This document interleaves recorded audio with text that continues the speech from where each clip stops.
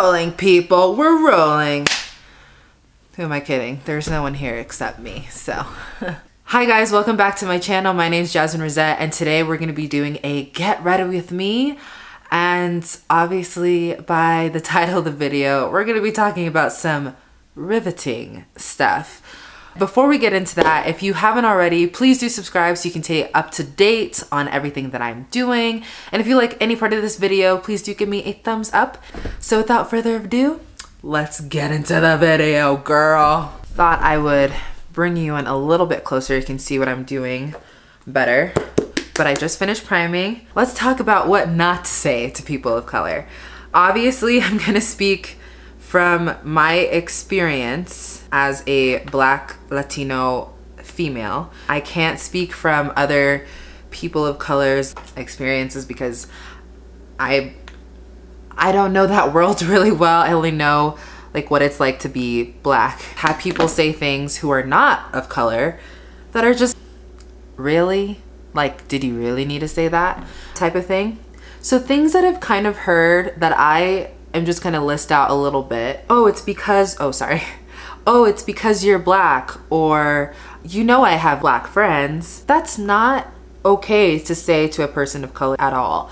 It kind of tells me that you are a little uncomfortable being around someone who's of color, that you haven't been around people of color often, and you have to continuously point it out and like make jokes about it. And it's just like, bro, I'm a person too. I get that like on the outside, I definitely look different because my pigmentation is a lot darker than yours, but it doesn't really constitute for you to just be like, oh, you have big lips because you're black. You have a big butt because you're black. Or you talk like this because you're black. No, it's not. And I've definitely corrected people in the past. Oh, it's, you know, because you're black. And I'm like, no, it's not because I've seen white people who also have big lips, who also have big butts, who have certain features that are similar to mine. And also, you never really hear a, a, black person saying, oh, because you're white, because you're white all the time and focusing on your whiteness. And I just always find it so interesting when people always kind of have point out your blackness to you or your whatever you are as a person of color. They always try to point it out to you. And it's just, okay, cool, awesome, great. I've even gotten, been in situations where people are like, you know, um, you're like the cool black person in, in the, in, in this whatever situation. Why can't I just be a cool person? Why do I have to be a cool black person? Like, why do you have to like point that out? And it's like when people who are not of color point those type of things out, I'm just kind of like, are you trying to show like tell me that like this is your way of saying that you see me? What's really going on here? Like i just don't really understand the point. I'm just like it's just not okay to like say things of oh it's because you're black or just continuously pointing out my my blackness. I always find that like people of color kind of make the joke in a place where they're the minority so that like you don't have to acknowledge it. And so it's like you understand that like I recognize I'm different. You now know it's pointed out that I am different than you just based on my skin tone. And so I'm gonna make this joke to kind of clear the air to acknowledge my racial difference or ethnic difference whatever you like want to call it. Um, type of thing. And so, and that can definitely come off as, you know, hypocritical a little bit. And I realized, like, based on a recent conversation, that people of color need to stop doing that. Like, we need to stop making those type of jokes when we're, and it's not really even offensive jokes, but it's a joke of, hey, I acknowledge this about me and know that like I'm the only one who's like this. And it's definitely not okay on our part but I feel like where it's coming from for us is is to kind of acknowledge that like there's a difference between us. Like there's a difference that like for me to acknowledge, yes, in front of all of you people who are not of color and I am the only one in the room who is, I understand that I am black and that you are not. And this joke is to or it's not even a joke. It's more of like a light hearted comment that I make. Yes, I understand because I am black. Because it's like, I've been in a situation where someone has explained about my culture to me, and then I kind of finish off, I already knew that because I'm black and I'm very involved with like what's going on in my culture.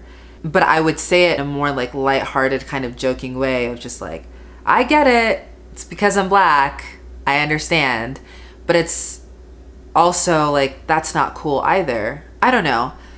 I don't feel like it's okay for people who are not of color to kind of point out being like, "Oh, it's because you're the black person or it's because you're black for this reason or, you know, you're that black person of this and that's why they think you're cool." Like I've gotten comments like that and I'm just like it's it's not okay to say to a person of color reg- like regardless because you're putting me into a box, you're putting me into a category to kind of fit your needs to so that you can kind of understand better who I am without really acknowledging me as a person first. You only acknowledge my race first and then think of me as a per- person second, which is not okay and not like not the point. Like, yes, I am a person of color. I get that more than anyone. I live in my skin every single day. And I live with black privilege every single day. Whereas white privilege, like, works for you in a lot of situations. But for me, it's it doesn't. I also think like things that are not okay to say to a black person are the N-word.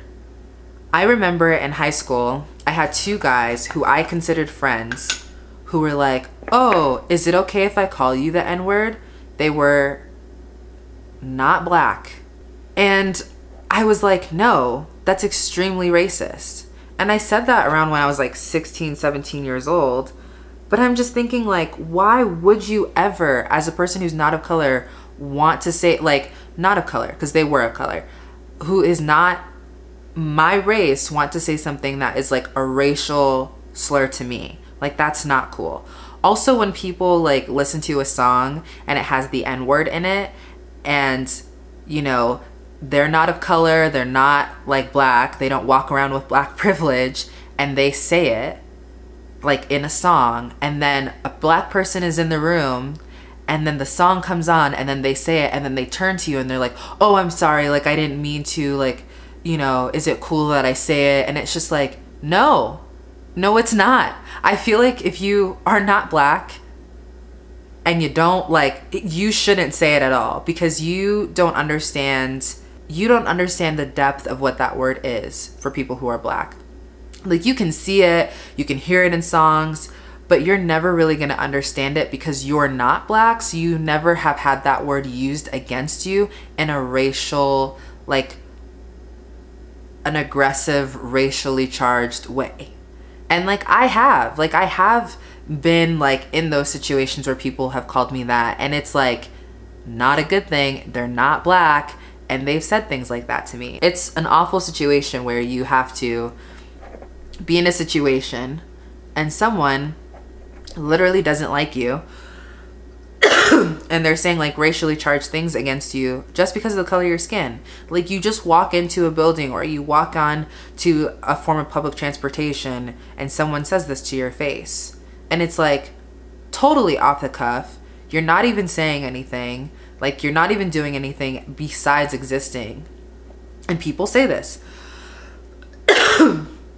to you, like who have some sort of like grudge against you or whatever and it's just like, well, damn. like, this is an awful situation. It's horrible to be in. But I just feel like if you're not a person who's black, you should never say that word. That is my opinion. I don't care if you are married to a person who is black or if your cousin is black. If you do not walk around with skin like mine, I don't think you're allowed to say it. And also, those people who like do the whole black face or they like tan so much that they look black and they're like, oh, I think I can get away with it. If you know in your heart that you ain't black, then don't be saying that word because you don't understand that like the N word, nigger, is means ignorance. Like slaves, like slave masters called black people niggers because it was a way to identify them and put them down and be super condescending and being like, you're an ignorant person, you're less than a human, you're a piece of crap. And then black people started to take ownership of that word and saying, nigga. And as a way to like take ownership of that word so that it doesn't hurt themselves. And they call each other that as a reminder that it's like they cannot use this word against me to continue to push me down. So, like, if you don't fully understand the depth of what I just said and it doesn't emotionally resonate with you, just never say the word. Even if it does emotionally resonate with you and you do understand and you are not a person of color, my color, don't say the word. I don't care if you're married to someone who's black. I don't care if, like, you you know, have a black friend, a black cousin, or if another black person said it was okay for you to say, because another black person would be like, it's not. So don't say it. And so, and that's how I feel. Like, I'm just like, don't say it. If it's in a song, I don't care. It's not meant for you to say as a person who's not black. Non black people should never say the N word. And they should never ask a black person if they can call them the N word. It's super offensive. I don't like it. I don't think it's like, it's not productive. Like, what's the point? Why would you want to call me that? Why can't you just call me my name? Which in my case is Jazz or Jasmine. Like, you don't gotta call me the N word. You don't gotta do me like that. Another thing is, I feel like there is like a problem that's kind of arising people who are not black are recognizing that like oppression still exists for people who are black. Like the whole Black Lives Matter movement, people are more aware of it than ever. They're realizing that like black people can be brutally attacked at any moment, that they're underpaid, they're undervalued, they're not appreciated as much. And we are we are making ways to improve that, which is great. But I feel like people are getting stuck into this pattern of, you know, I acknowledge that I have white privilege. Like when people who are white say that, I'm like, that's great. But at the same time, you can't give up your white privilege. When people who are white acknowledge that they have white privilege, I'm like, that's great that you know that. But what are you going to do actively with that information? I feel like it's getting into this like transition of we're just talking about it, which is, you know, there's like, there's definitely like goodness coming from just talking about it. And I'm very appreciative that people acknowledge who are white their white privilege. Like, that's important. I feel like that is huge. That was something that like we never got, like, you know, even 10 years ago. Like, this is very recent and people are kind of speaking up of being like, I don't see any people of color on this set, or, you know, like we're seeing it in ads and like beauty campaigns and in movies. Like we're starting to see like that kind of celebrated of like, oh, like there's some action, but I feel like the action is mainly coming from people who are of color or like there is a little bit of action because they're realizing that like oh it's not okay to continuously like bash on people of color and not include them. but we have to be like mindful of that. But I feel like a lot of people get into this habit of just saying like, "Oh, I acknowledge that I have white privilege." But I'm like, when push comes to shove, say I'm in a car and I get pulled over, obviously I'm black. Obviously I'm a person of color who has dark skin. And with everything that's going on with cops and black people getting pulled over, it is very scary. So if a person who's white is in the passenger seat and all they do is nothing, while a cop being racially offensive or doing the things that we see in the news outlets all the time to black people and they don't do anything, what is you saying that you have white privilege doing for me in that moment? You're just stating it, but you're not doing anything for me. I am actually scared in that position. You might be scared, but your life will probably go on. Who knows if mine will? I'm not saying that like a white person needs to jump in front of a bullet for me, but I'm saying when push comes to shove and you're in a situation where something that's racially charged is happening, are you just stating that you have white privilege or are you being like proactive with your actions? Because I feel like I don't want us to get stuck in this thing of, oh yeah, I acknowledge, I acknowledge. And I'm like, great, you acknowledge. What else is that? What else is that doing? You're just stating you have white privilege. I can state all day I have black privilege. That's not doing anything. That's not helping anybody. You can state what kind of privilege you have, but if you don't do anything with it, what's the point in stating it in the first place? That's kind of my that's my stance on it. I don't know, maybe I'm being like a little bit too pessimistic about it, but I kind of feel like we get into I feel like some people are getting into that like habit of just like, oh, just saying something is going to be enough. But if you're like if you really stand arms in arms with us, saying something sometimes doesn't do anything. Like when people cuz like there are still going to be people who act out in violence towards people of color for no reason at all. And I'm not saying all cops are bad, but something that I kind of realized that really put me on to the Black Lives Matter movement because I wasn't directly affected. Like, I live in a predominantly white culture, yes, but I see that on the news, but I don't feel, I didn't feel at that time that I was directly affected until I remember seeing this tweet. And then I was in a situation where a cop was following me. But I remember seeing this tweet where the whole Blue Lives Matter was happening, and I definitely rolled my eyes on, on that on purpose because this tweet said, You can take off your uniform and no one would know that you're a cop, but I cannot take off my blackness. I live in this skin every day. And I was so moved by that. I was like, wow, I didn't understand it until someone had to like literally put it in perspective of saying like, yeah, we we as people of color like we can't exactly take off our blackness we can't. Like people come up to me and they'll like even talk black or they'll talk really sassy like an angry black woman and be like, okay, before even hearing me talk. And I'm just like, yeah, no, I, I don't talk like that. So like, where is this coming from type of thing.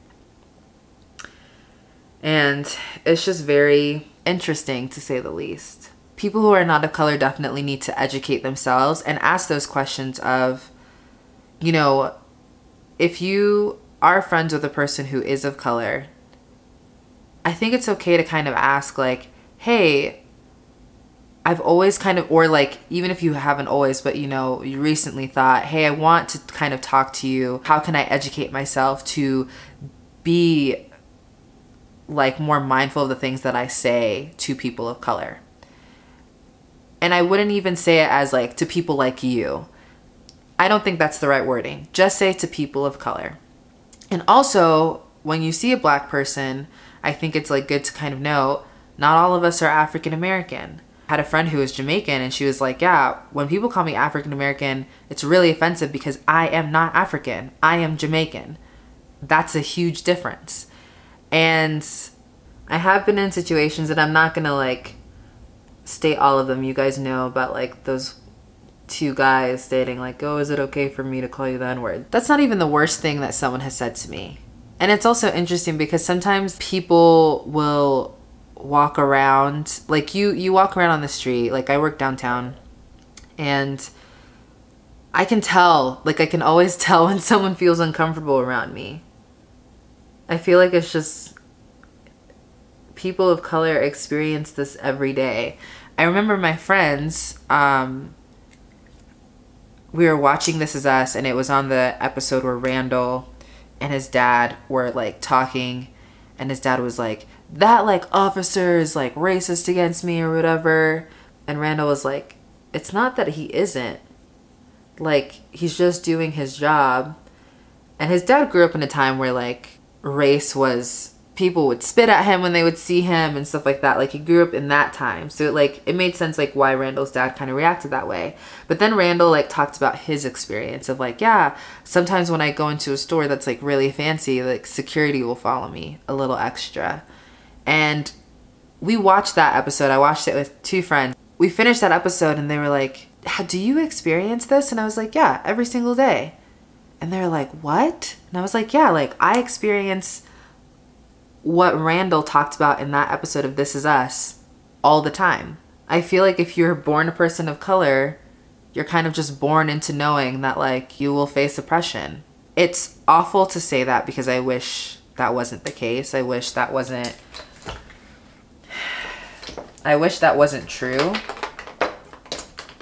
It's honestly like how I feel. I feel like if you are a person of color, you deal with some sort of racism weekly you know, or it might not be like all the time. Like if you're around people who are just like you every single day, like if I was around like an all, you know, if I was around a black community, I don't think I would deal with that, but I'm not.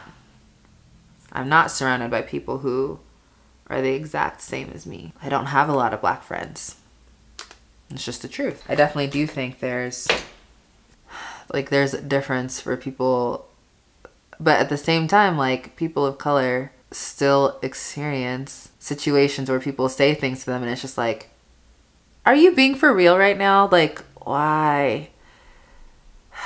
Or like people try to prove that like they have black friends or they understand black culture and it's just like you don't gotta prove to me like if you like kendrick lamar and you're like a legit fan cool but you don't gotta like overextend yourself and be like, yeah, like I'm just like all about black culture. And I was just like, you know, and that was another thing that I was talking about with my friend too. It's just like, just because I am black or a person of color doesn't mean that like I like everything that is black. Isn't this just like a beautiful face? Don't assume that just because I am black means that I know everything there is to know black about black culture and that I like everything there is about being black. Like, just because I am this race doesn't mean that I'm obsessed with everything about this race or this culture. Like, people don't realize when they talk to me, I'm actually Spanish. I did say that I'm a black Latino female. My family's from Panama. And I love that culture. And people who are from Central America or Spanish countries, they see me and they know, they're like, oh yeah, she's probably Panamanian because they recognize those features in me. Where other people who are not from those cultures probably don't. Like, I remember visiting Panama several times and people being like, oh, yeah, she's obviously Panamanian, so we're just to speak Spanish to her.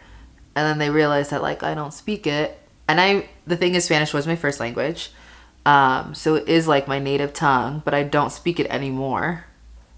English is hard to learn. I don't know if people know that, but English is like one of the most difficult languages. And it's still hard for me to speak. Um, I'll have days where I like say something like I said almonds and salmon, and apparently it's salmon and almonds. Um, and I was like, oh, I should train myself to say it that way. And I did. And I was like, no, I prefer to just say it my own way. And I noticed that my grandma, she says quinoa, and I say quinoa and I was just like, oh, I should just say it quinoa because like it's okay to like not say it in such like an American way. Like people who are not from America say it the exact same way. And that's okay. Like I don't have to like pronounce everything so American. Like you will got it on my face. You will understand what I'm saying. But like yeah, I was talking about it with my friend who's Asian and she was just like, yeah, some people think that like just because I'm Asian, I'm obsessed with everything that there is Asian. Me personally, I love everything that's Asian because I am obsessed with Japanese culture. I love anime. I like reading manga and like eating Asian food like sushi, um, pad thai, larb is like a new favorite that I'm obsessed with. Um, kimchi, kimchi jjigae, you know, bibimbap. Like, I I love food from like Asia and Indian food, basmati rice, uh, butter chicken, the curries. Like, I love it all. And I just love eating like ethnic foods that are like so different to mine because like in my culture we eat like a lot of fish and rice and frijoles, you know, beans type of thing. So, but I was talking to her and she was just like, just because I'm Asian doesn't mean I'm obsessed with everything that there is Asian. And I was like, yeah, I totally get that. Like, I totally understand. I'm not obsessed with everything that's black because people assume that everything that's black is African. And I'm like, I'm not African. I'm Spanish more than anything else. And it's just, it's always very interesting when people try to like put you into these categories. And it's just like, no, I would prefer if you were to just get to know me as a person first before you try to identify myself for me. Cuz it's like you don't need to do that for me. I can I can do that enough on my own type of thing. And so it's just very it's just very interesting when people try to do that to you. And it and it can be very frustrating. But it's like, no, you don't have to talk to me about everything about my culture because I might not know everything about my culture. And I also don't need like a history lesson or I don't need to be educated about it. Like, if you like something, talk about it in a way that you like it, but you don't have to emphasize my race with it, you know? I feel like I covered a lot of, well, I didn't, I don't think I covered everything, but obviously, because it's such a huge topic. But I think like the main takeaway is that if you are not a person of color or if you don't really understand a race and you're around someone who is of a different race than you, like say if you've never been around someone who's Ethiopian or Korean or, you know, from Yugoslavia, like I think it's okay to just understand like try to educate yourself on that culture but not trying to put people in a box within that culture because that's not all those people are just like start off with hi and then kind of go from there. And you don't have to always bring up their race, their ethnicity, asking where they're from.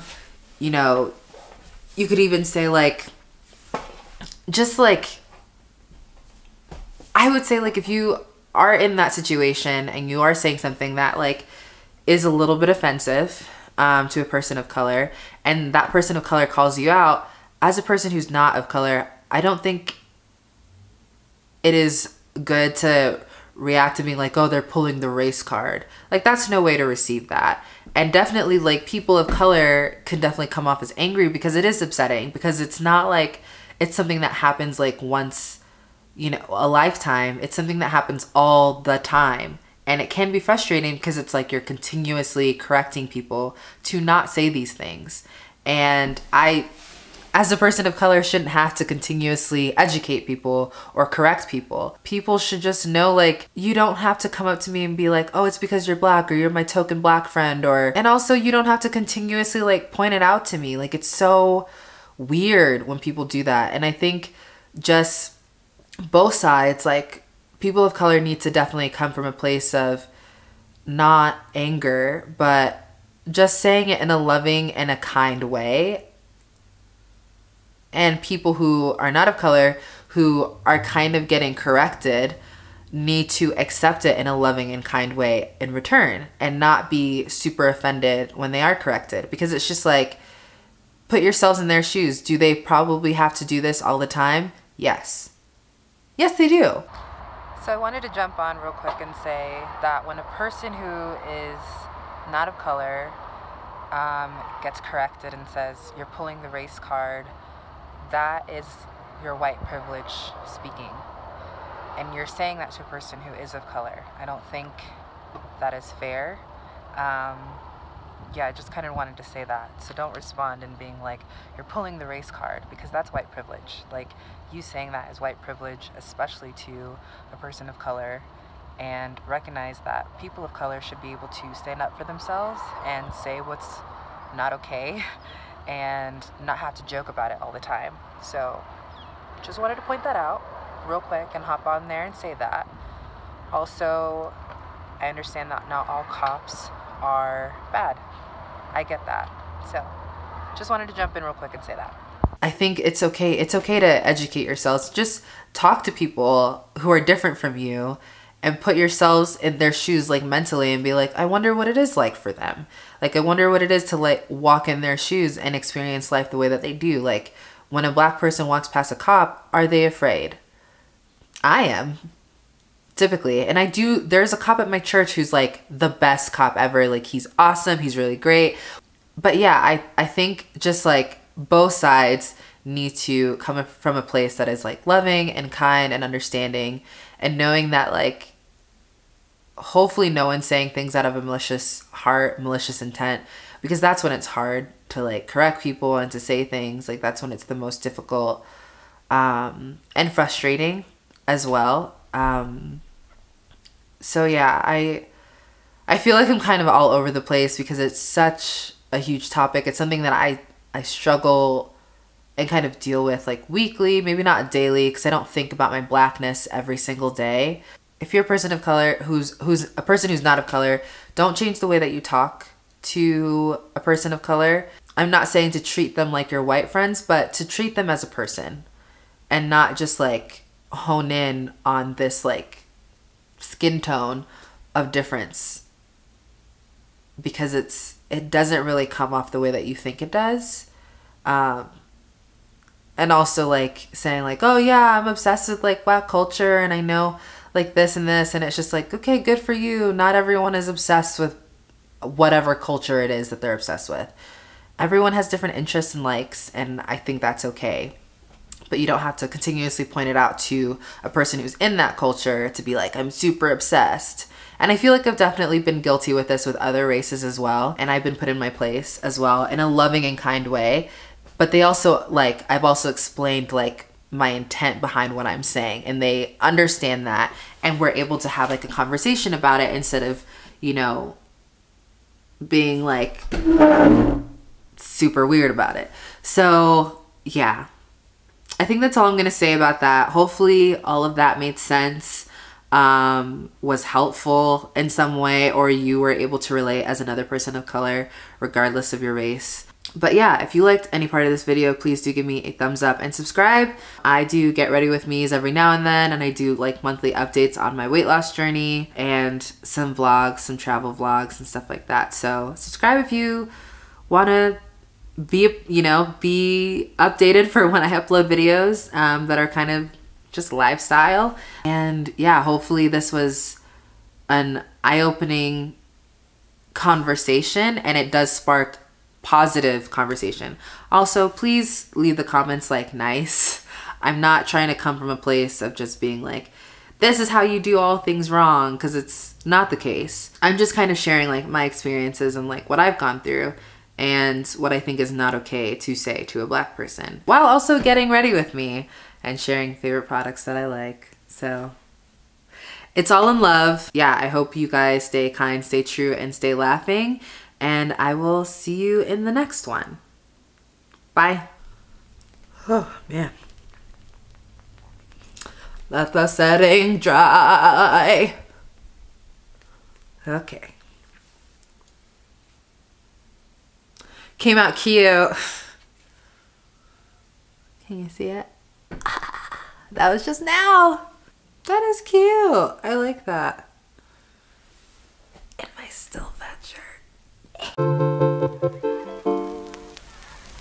you.